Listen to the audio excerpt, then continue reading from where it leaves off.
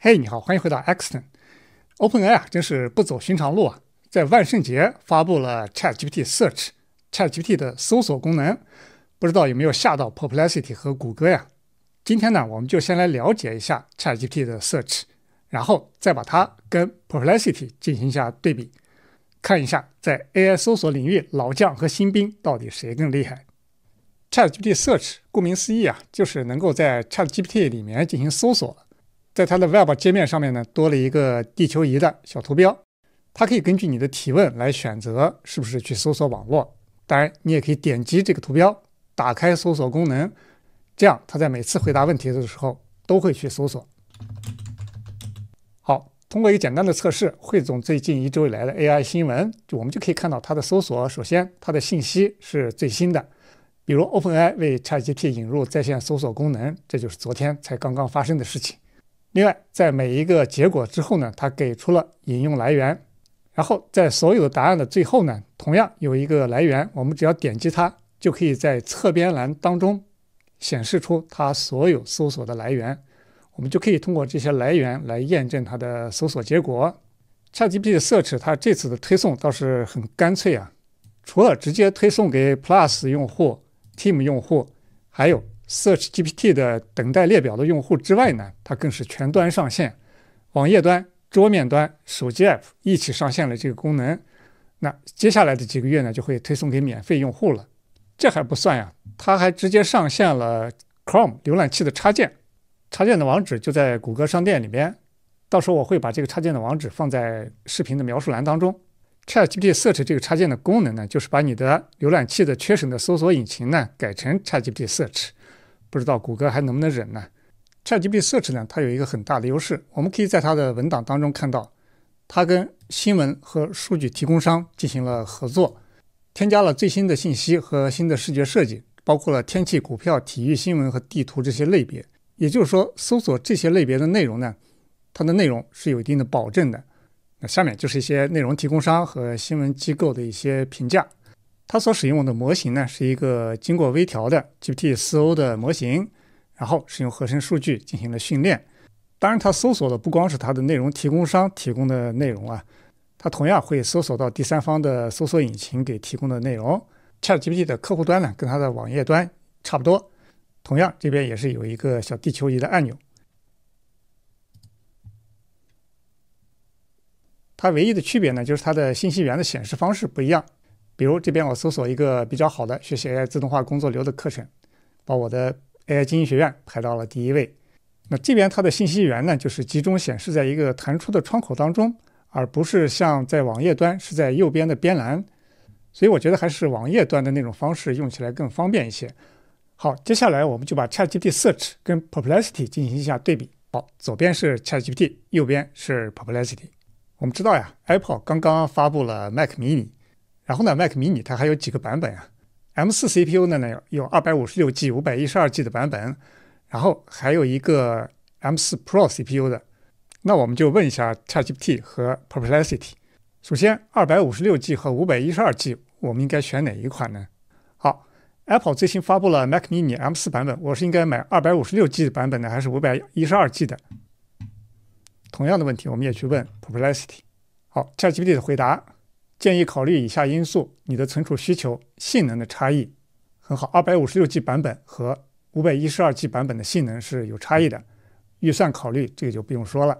外接存储，然后它的来源是来源于哪里呢？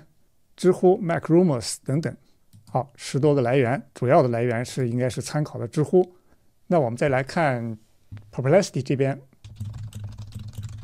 首先它给出了存储配置的对比。给出了价格，他因为知道我是内容创作者啊，他直接就建议我选择了五百一十二 G 的版本。成本考量，从二百五十六 G 升级到五百一十二 G 需要额外支付二百五十加币，然后后期购买外部存储设备可能最终花费更多，且传输速度较慢。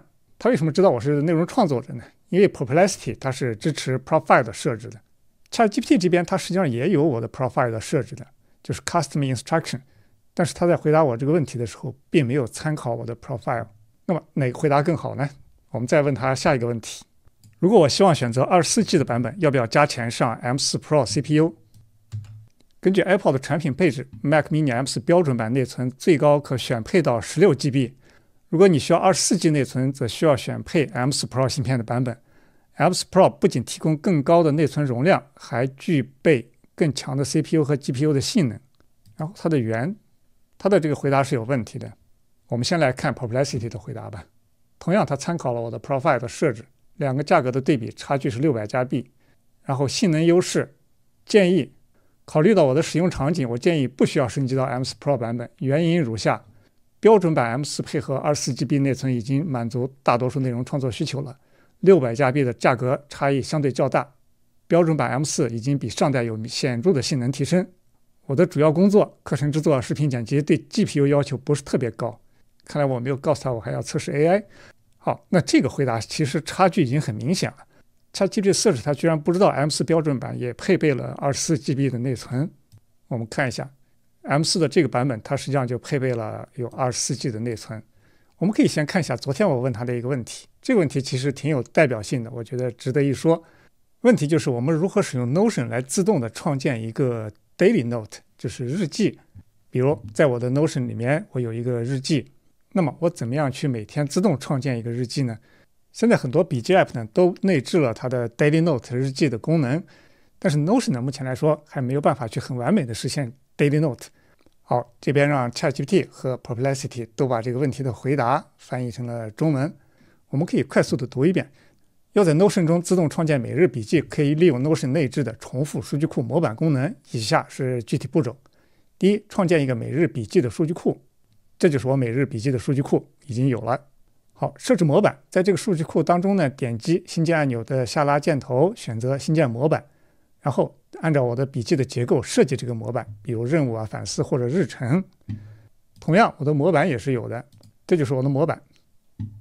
创建模板后，点击模板名称旁边的三个点，然后选择重复选项，然后选择每日，让 Notion 每天自动从这个模板生成一个新条目。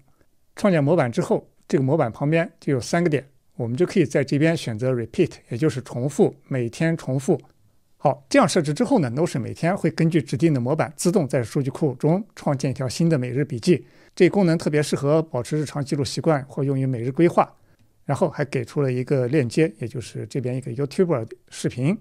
好，看起来是不是很不错呢？但是我们再来看一下 Perplexity 的回答，同样是创建一个数据库，然后把它命名成每日日记，并且要定义属性。那这边的重点就是添加一个已完成的复选框的属性，待会儿你就看到这一点为什么很重要了。同样，创建模板过程都是类似的，但是这边特地也提到了使用 at today 作为模板标题。这这就是我的模板的做法。使用 at today 作为标题的话，你的标题就是自动的会插入当日的日期，然后你之前的日记它的日期就会自动的变，所以这也是比较重要的一点。然后使用。生成日记模板的内容，添加内容，然后设置模板的重复，最后视图的组织，创建两个视图以便更好的组织。那这边就提到了，它添加了一个已完成的复选框的属性。这个属性有什么关键的作用呢？如果没有这个属性，我们就会看到一些更多的日记出现，但是这些日记它很有可能是空的，就是说我没有做过记录。Notion 的模板每天它自动的给你创建了一个日记。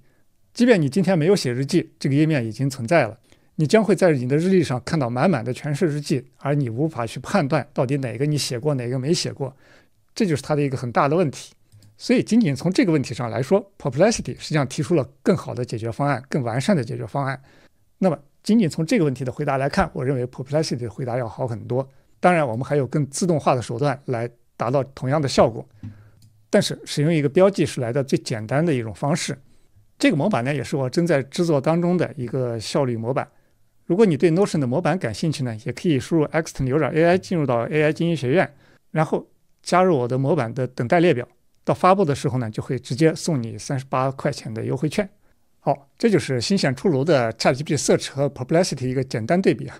这个对比很简单，它并不能很准确的反映到底谁强谁弱。Perplexity 也有它的一个比较大的缺点。那如果要真实的对比二者的能力呢，还需要更多深入的对比测试。但是不管怎么说，ChatGPT 测试的发布呢，对 Perplexity 和谷歌都是一个比较大的冲击。谷歌也就立刻在它的 AI Studio 里面发布了 Ground Search，包括在它的 API 里面。毕竟 ChatGPT Search 刚刚发布，今后有更多的使用心得呢，再跟大家进行分享。好，今天的分享就到这里，我是 X Ten。如果你喜欢我的内容呢，请帮我点赞、评论、订阅我的频道，并且打个小铃铛。咱们下期再见。